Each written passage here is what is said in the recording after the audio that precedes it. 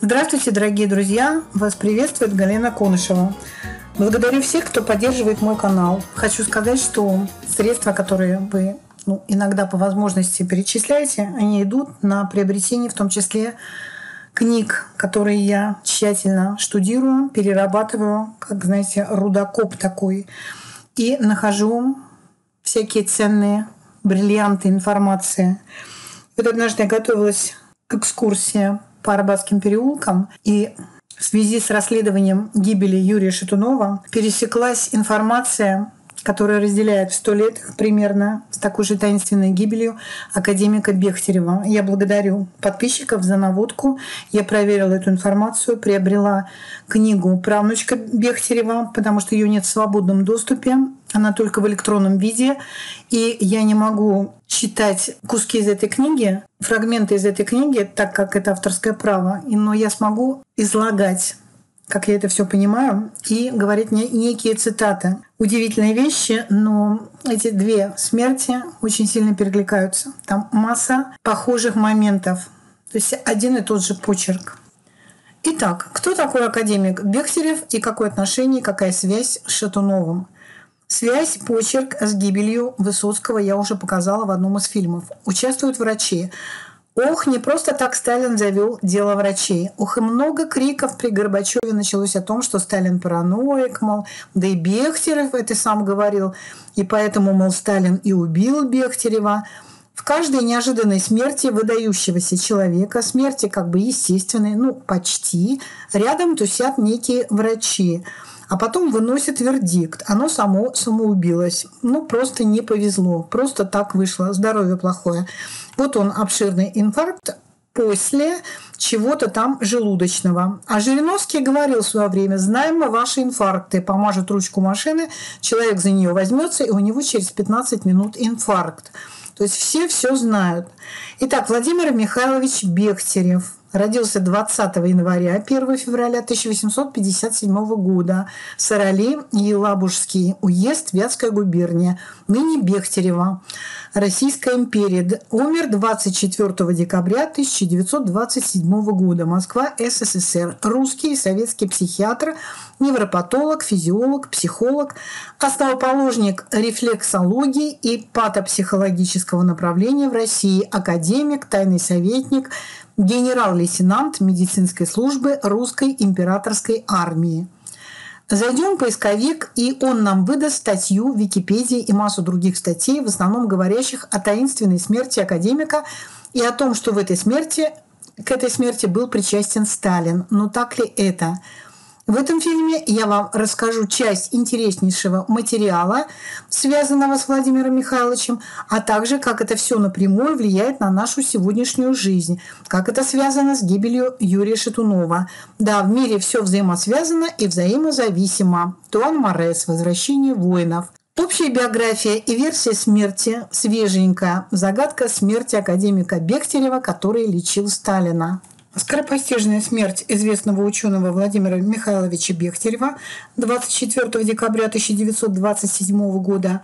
Ну, смотрите, даже цифры близко. 24-го. Шатунов, Шатунова 23-го. Оказалось для всех полной неожиданностью. Несмотря на преклонные года, накануне он лучился энергией и принимал активное участие в съезде невропатологов и психиатров, на который приехал в Москву из Ленинграда. Официальной версией было пищевое отравление, однако поползли слухи об убийстве академика. Кстати, статья прям свежая, 15 сентября. Она мне понравилась, потому что она взяла все самое необходимое, что есть по этой теме, и, в общем-то, коротко и ясно подытожила по теме смерти Бехтерева. Вот он, Владимир Михайлович Бехтерев, военный врач. Накануне смерти 23 декабря Бехтерев с утра ездил в Кремлевскую больницу якобы для консультирования Сталина касательно его сухорукости. Затем он принял участие в заседании Всесоюзного съезда психиатров и невропатологов. Вот эта тема консультирования ее запустили либералы в 90-х годах, консультирование Сталина. На самом деле доказательства того, что именно в это время была консультация Сталина, абсолютно нет никаких. Консультация у Сталина у него была. Но после этой консультации он еще успел со своей женой второй съездить в Чехословакию, в Чехию. И после нее, после этой консультации он благополучно еще жил некоторое время. Но об этом чуть позже. Итак, затем он принял участие в заседании Всесоюзного съезда психиатров-невропатологов, проходивших в Институте психопрофилактики Наркомздрава, осмотрел институтские лаборатории в рамках организованной экскурсии. Научное общение с коллегами за чашкой чая было прервано молодой женой ученого, торопившей его в Большой театр, где они собирались смотреть балет. И я добавлю о том, что информацию о том, что жена вела себя очень капризно и действительно торопила Бехтерева и не дала ему поговорить. Ему хотелось пообщаться с коллегами, она ему просто не давала. Она вела себя безобразно, истерично. И об этом написал очень много свидетелей именно об этом последнем дне, как она себя вела. Во время перерыва в театре Бехтерев полакомился мороженым в буфете. Вскоре у него испортилось самочувствие, и супруги, не дожидаясь окончания балета или спектакля, потому что на этот счет в СМИ была разная информация по поводу разных театров и разных спектаклей, о чем заметила, на что обратила внимание правнучка Бехтерева, когда она уже писала свою книгу вот-вот в ближайшее время в 2020 году. Она поставила, в принципе, точку. Она нашла очень много материала, которым я вам с вами поделюсь чуть позже. Итак, приглашенный врач поставил уколы, но к утру Бехтерев скончался. В заключении значился сердечный паралич.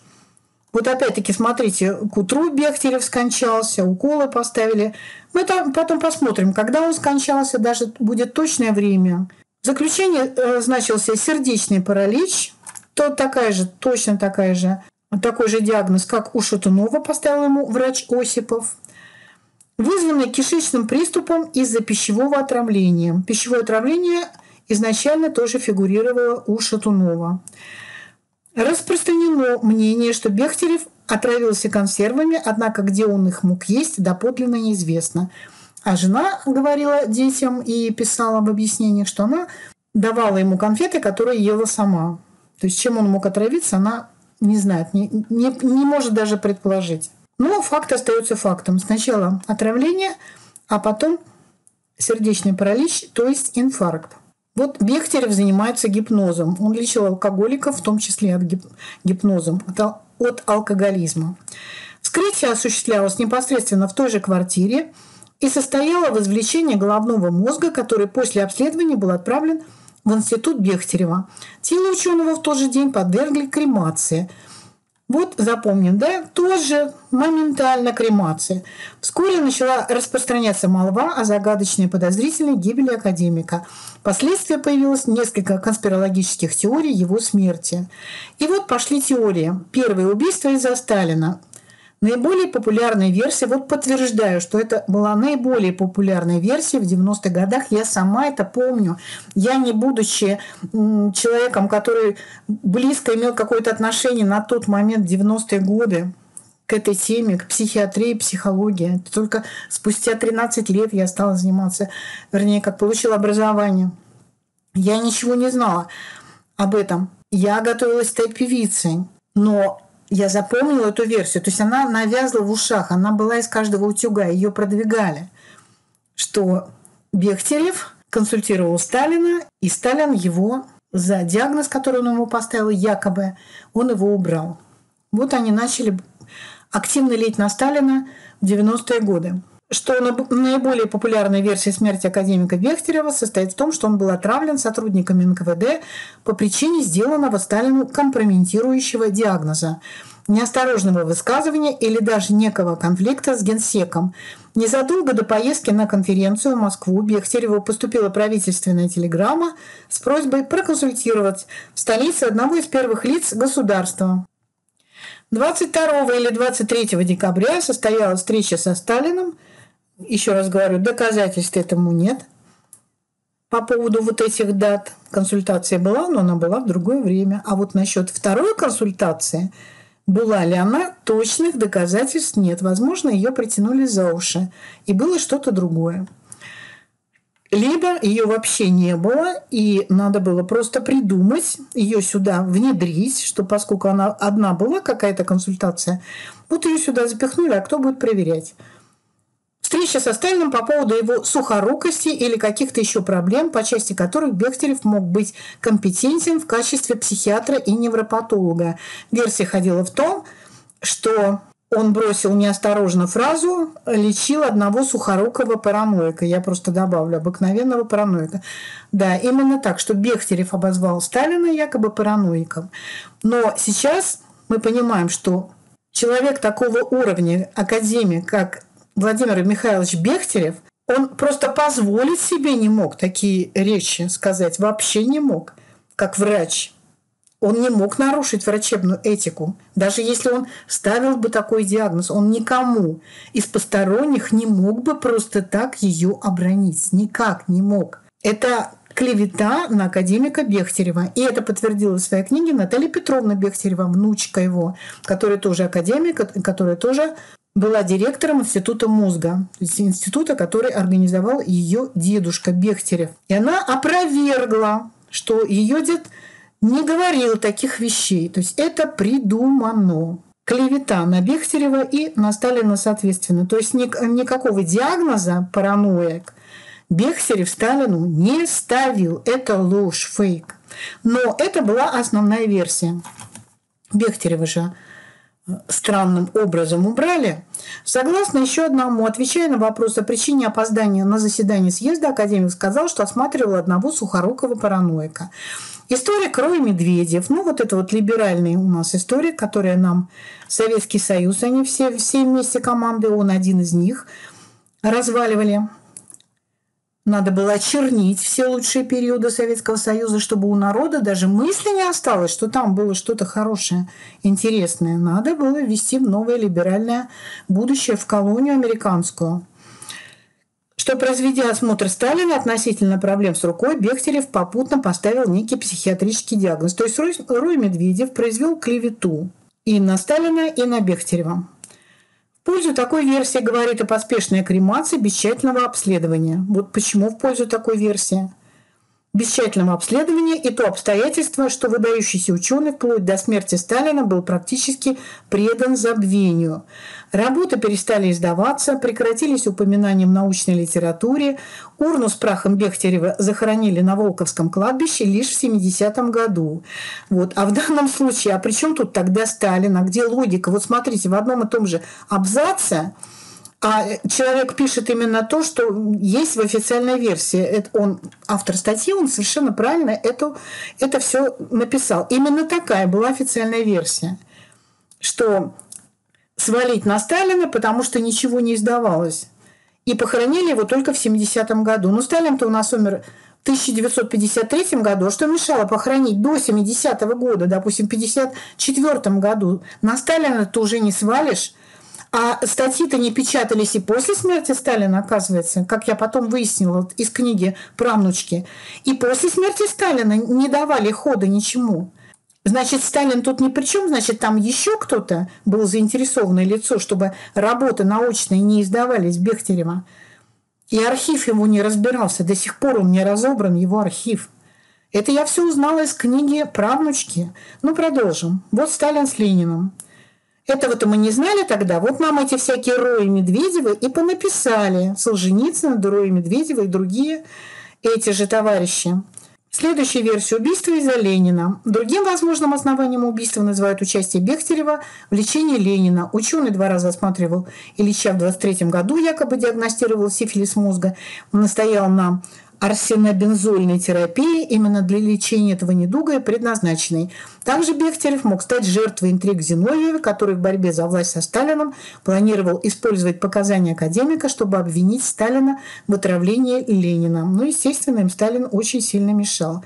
Сталин был для них колоссальный конкурент, и об этом я поведаю вам из другой книги которую я специально приобрела. Там тоже очень интересная информация. Но это в других фильмах. И следующая версия, третья, отравление женой. Второй супругой ученого была Берта Аре. Мы о ней поговорим потом подробнее. Сейчас я пока вам основные версии для ознакомления, потому что кто-то, может быть, вообще не знает, кто такой был академик Бехтерев. И поэтому постепенно даю вам информацию. Значит, Берта Аре – это вторая жена, родом из Латвии. Они познакомились в 16 году, когда Бехтерев оказывал врачебные услуги тогдашнему мужу Берты, состоятельному петербуржцу Петру Гурджи.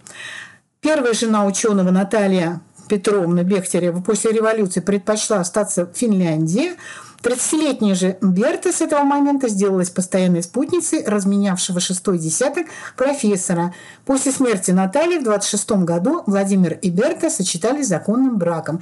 Но по поводу законного брака и всего остального мы поговорим чуть позже.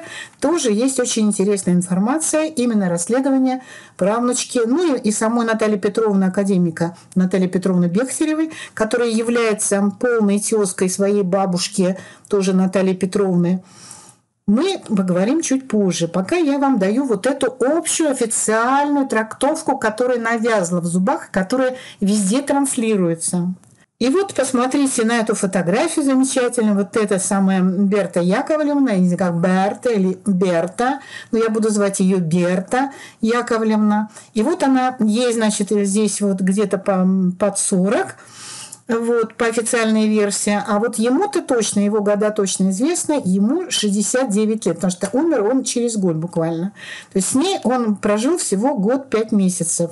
И вот этот, ну, можно сказать, дедушка уставший, вот он такой академик, он такой вот прям тайный советник, он такой гипнотизер, и он такой исследователь мозга, и что он только не изобрел. Он действительно очень много изобретений сделал, приборов разных психологических сделал, по тестированию человеческого мозга. Это впервые все было сделано. Это еще тогда, тогда, тогда. Это вот на заре, на заре 20 века. Он это все изобрел. То есть это действительно выдающийся человек, без всякого вот, вот без всяких э, кавычек. Действительно выдающийся человек, благодаря которому психиатрия, ну, знания всего мира шагнули далеко вперед. Знания человеческой психики. И вот этот замечательный человек, который сам гипнотизировал, и в гипноз вводил людей. Вот он попался в ловушку вот этой самой Берты Яковлевны. Посмотрите, как она на нем висит. Это характерная поза женщин-захватчиц, которые виснут, на, особенно если дядечка, дедушка там намного старше, и э, он еще состоятельный, да, у него там можно чем поживиться, и после его, так сказать, кончины остается правильное завещание, то, как правило, вот эти охотницы, они, ну, не просто так, они стараются, они улыбаются, они его обнимают именно со спины, висят на нем, греют вот эту воротниковую, что называется, зону. Это зона зона ответственности, так называемая материнская зона. И ничего с этим поделать нельзя. Вот она виснет на нем. И сегодня они точно так же себя ведут. И я видела такие пары, после которых очень быстро уходил в мир иной дедушка, оставляя все молодой любящей жене, все свое имущество, а детям ничего, как правило, не оставляя, все достается вот этой хищнице. Это классика жанра. Поэтому вот и на фотографии она вот у него аж залезла ему сюда, посмотрите, вот везде она его как змея обвела. Вот и тут у нее рука, она на нем висит, и вот, вот с этой стороны тоже она ему по, по, под пиджак везде залезла. Со всех сторон все не вырваться бегте, все это ловушка. Жизнь это показала, что это была колоссальная ловушка и колоссальная ошибка. Но даже такому академику Бехтерев вот не смог он это предусмотреть и не смог он устоять. Родственники Владимира Михайловича, его дети от первого брака поначалу были лояльны к женщине. Опять-таки, я говорю, это пишется с официальной версии. Но после женитьбы отношения поменялись. В семейном кругу стали подозревать Берту в причастности к смерти Бехтерева. Правнучка ученого Наталья Петровна, ну, о которой я вам говорила, академик Наталья Петровна, придерживается этой самой версии. Именно Берта сопровождала академика в последние часы. Именно она была единственной из разных Бехтерева, кто настоял на безотлагательной кремации. И еще одна версия, на мой взгляд, тоже очень интересная. Ликвидация из-за психотронного оружия. Как специалист по внушению Бехтерев был привлечен к разработке идеологического оружия, некой технологии, позволяющей дистанционно оказывать на людские массы психологическое воздействие с использованием радиосвязи и подобных средств. Опыты были как будто бы не безуспешны, однако в 1927 году некто из участников проекта, тесно связанный с Бехтеревым, слинял в Германию вместе с секретной документацией. Проект решили свернуть, а основных фигурантов устранить. Тоже, конечно, гениально. То есть проект эм, психотронного оружия слетел в Германию, а участников решили фигурантов устранить. Тогда кто устранил? Сталин, что ли? Он что, сам себе по рукам бы бил? Если бы у него в руках было психотронное оружие, он бы дал ему свалиться вообще в Германию куда-то там? Он бы стал убивать э, человека, который его изобрел? Да он бы ему создал все условия, чтобы он работал, что и было сделано для многих ученых. Шарашки были для этого и сделаны, для того, чтобы никто их не смог устранить физически, чтобы они спокойно могли жить и работать, чтобы ни один агент иностранный, враг, предатель, никто туда не проник. Поэтому и была создана атомная бомба в России. Поэтому все было сделано. Многие, многие оружия, поэтому не смогли нас в 45-м на нас бросить э, бомбу, потому что мы уже были готовы мы уже были готовы ответить. Поэтому эта версия, опять-таки, логика, она никак не, не отдает, но сама тема очень интересная. Я потом к ней вернусь.